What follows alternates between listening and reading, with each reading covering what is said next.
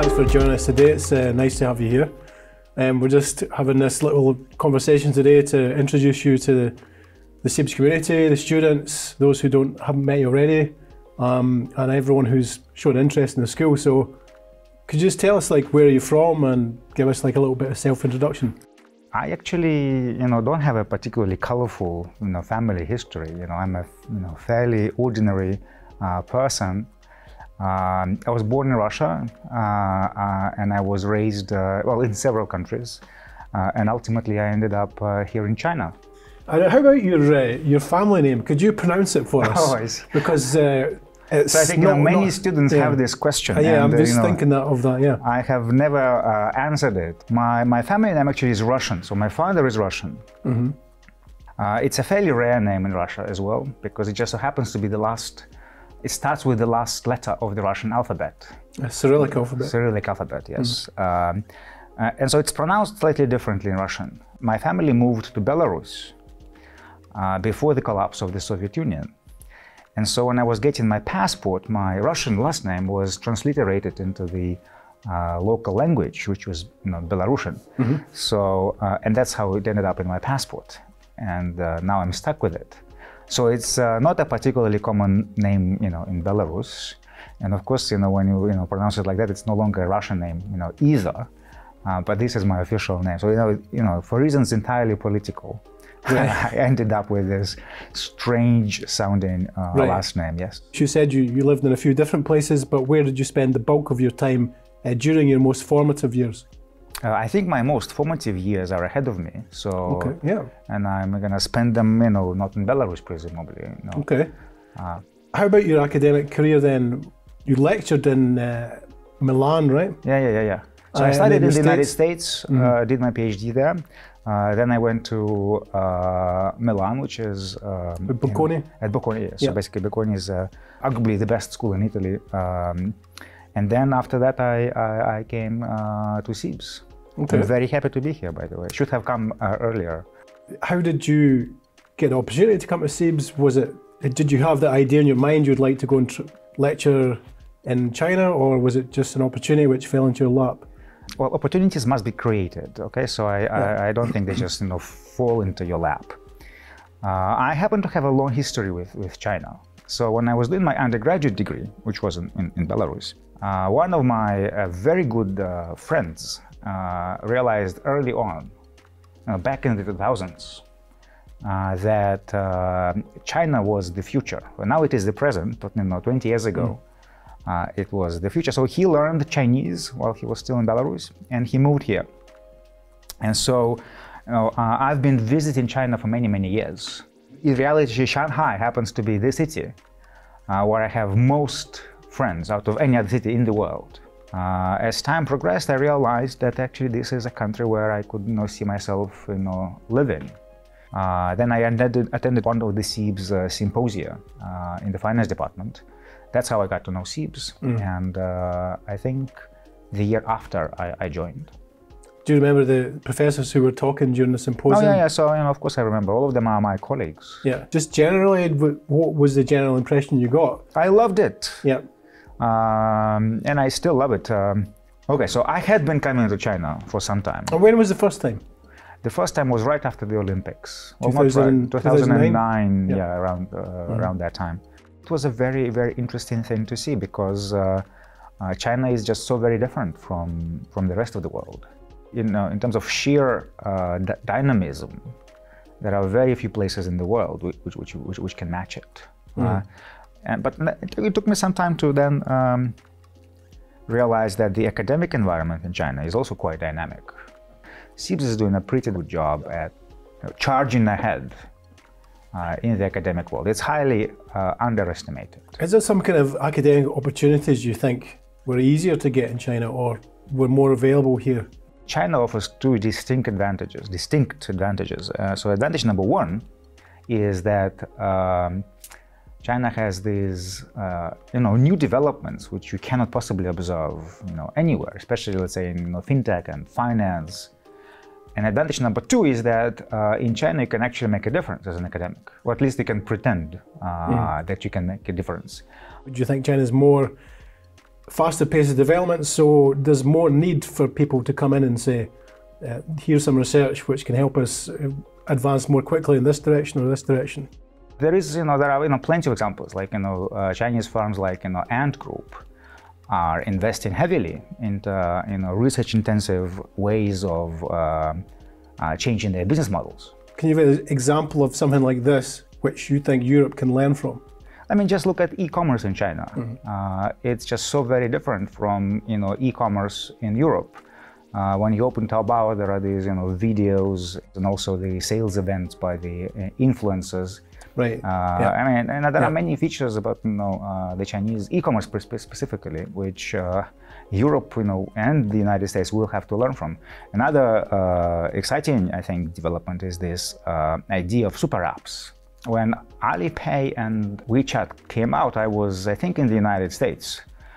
Uh, and I was looking at these you know, super apps which were doing presumably everything. And I thought, you know, what a ludicrous idea.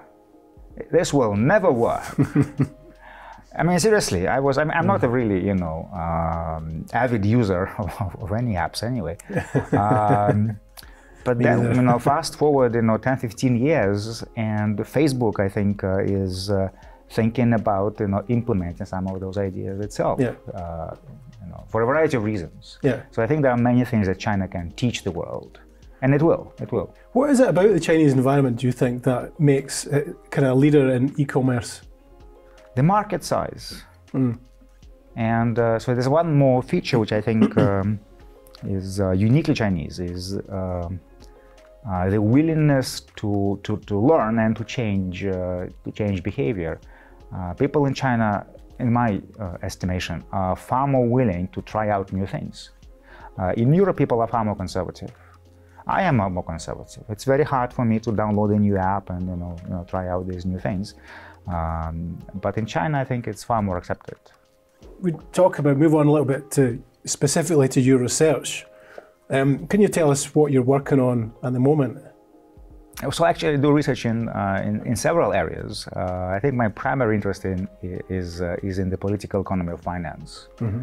So I'm uh, studying the interactions between firms and politics, mm-hmm. between courts and politics, uh, how finance uh, uh, campaign laws affect political outcomes mm-hmm. and those types of things.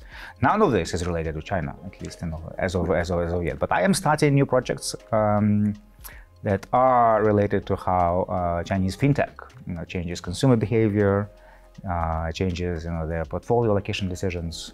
Uh, those are you know all you know very early stage, but you know mm. I think there are many exciting things I will do uh, in the years to come with with, with you know, Chinese Chinese data and Chinese um, uh, questions.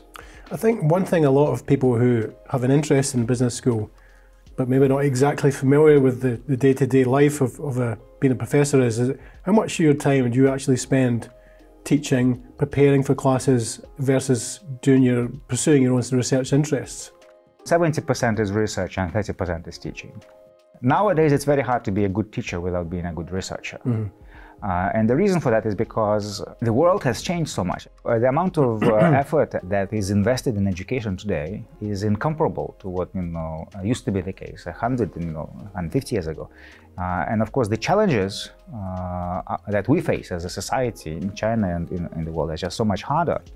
So you can't just go to a classroom mm-hmm. and rehearse some talking points. Uh, which I think is something that some of our students do not understand. You know, uh, many of them think that they come to a classroom to just observe, let's say, the best practices, and that's a uh, refrain which I hear quite often.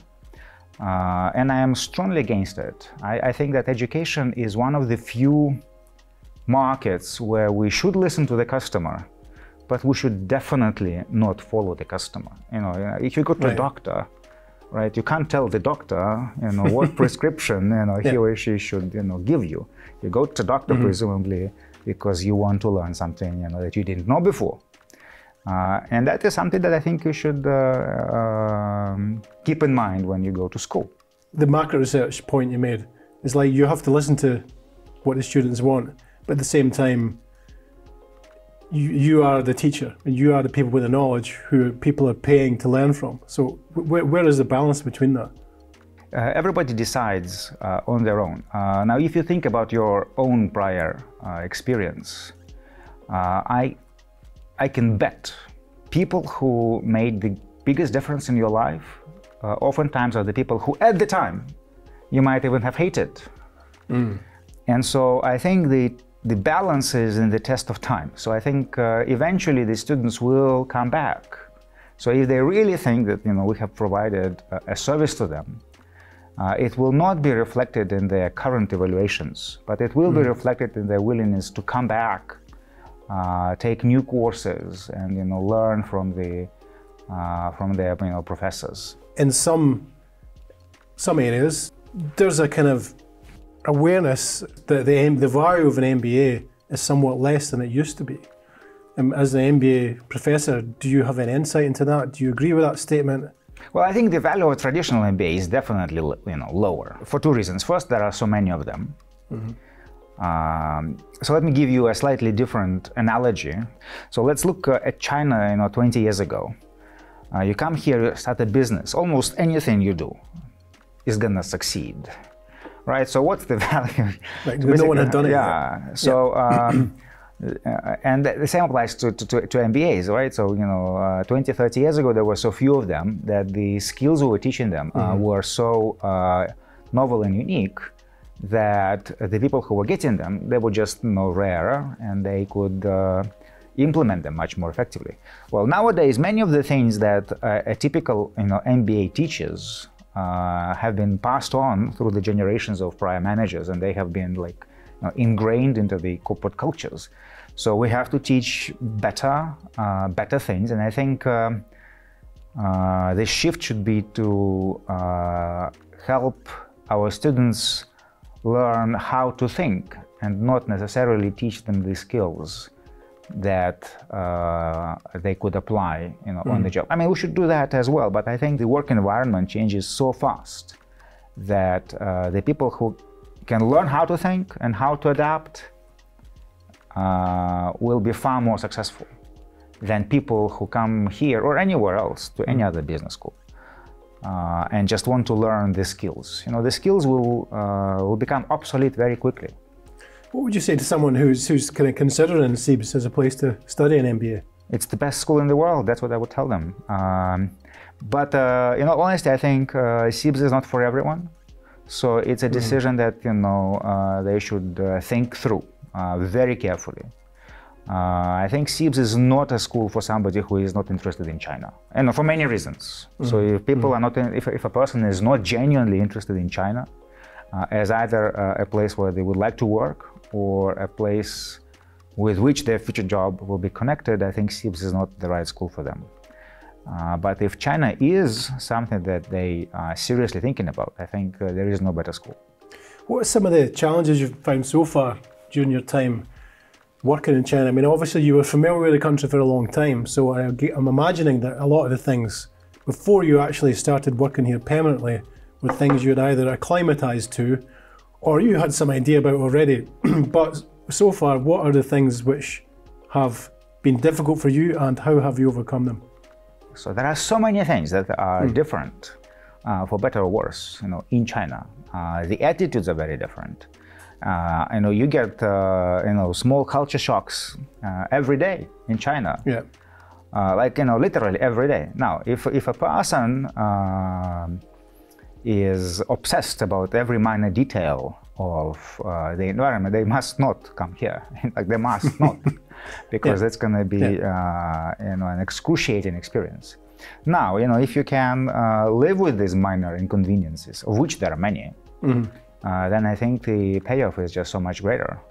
Just going back then to just go back to your past, I'm very interested to think about comparing Milan and Shanghai because they're two cities which are often held up in the same sentence.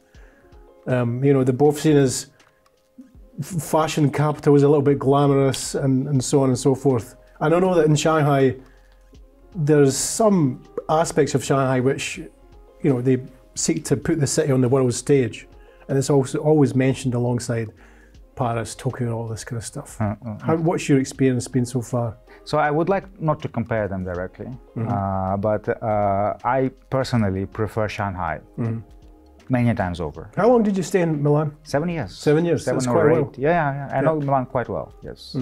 It's a nice city, uh, but I like Shanghai much better. Yeah. Why? Uh, more dynamism, um, and I think uh, there are many, many more things to do. Yeah.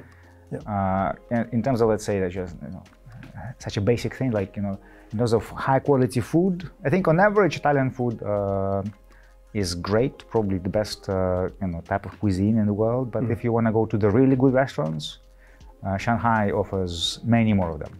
Do you plan to stay in China for the foreseeable future? Do you have a, a kind of fixed number of years or something like this? I am not planning to, le- to leave anytime soon. Uh, I think a lot of uh, opportunities are here. Uh, I am very excited about China. I uh, haven't seen much of it because of the pandemic. Uh, I, I would like to explore the country. Uh, so there are, you know, there are many things I would like to do. A couple of personal questions. Do you have any hobbies, interests? I like uh, reading. I like uh, travel. I like uh, jiu-jitsu, which is one of my less um, obvious hobbies. Actually, it's a great sport, uh, and it's uh, uh, developing quite rapidly in China, in Shanghai in particular. So I think uh, you know you'll see me in some competitions later on. Well, we look forward to Hopefully, that. hopefully, yes. I Is, mean, is, is this like an exclusive revelation for the for this video? for this video, yes. Well, I mean, you know, uh, let's not uh, hold our breath just yet. okay. Viktar, thanks for your time. Appreciate you taking the time out to tell us your story, and um, it's been very fascinating. Thank you. thank you, thank you very much.